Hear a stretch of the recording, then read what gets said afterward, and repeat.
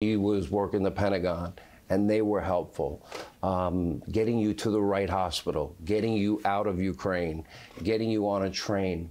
The Polish Prime Minister allowing that to happen, Mm. breaking all protocols, I believe, to do that.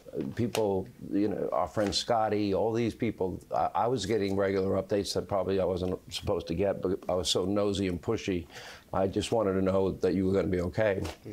And The second she found out, the very second she found out, she picked up the phone she called Sarah Verardo, who founded Save Our Allies. Something's happened in Ukraine. We need people to go in. Can you help? And she said, I got the best people in Poland. And immediately, that minute, they were looking for us. They had our pictures out there. They had the license plates out there. They were looking at ways in and out of the country. They put this team together. these, the Save Our Allies, these are amazing people. No, these people save lives. They're still doing it today. They got people out of Afghanistan. And they say that, you know, when people need help and need evacuating, when the big forces can't do it, we will go in and save those lives. Uh, and that's what they did for me as well. When I was in hospital and they found me, they didn't know how they were going to get me out. They couldn't drive me because they couldn't remove the big shrapnel in my neck. They couldn't fly me because they couldn't find a, a, a small runway for a low flying plane that could safely come in. And they didn't know what to do. And out of nowhere, US intelligence, we found out that the Polish Prime Minister was on the first covert visit to go and visit Zelensky.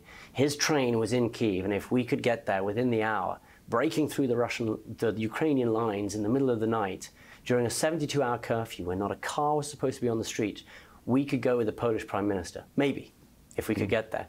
And we went through the city in the middle of the dark in this old ambulance, and at every checkpoint, the Ukrainian gunmen came at us out of the car. They thought we were the Russian hit squads coming in to kill Zelensky.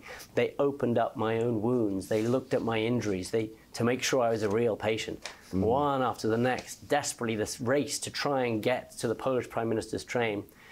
And they didn't have enough pain meds to give me when I left the hospital. And it was at that point that the pain started to really grow.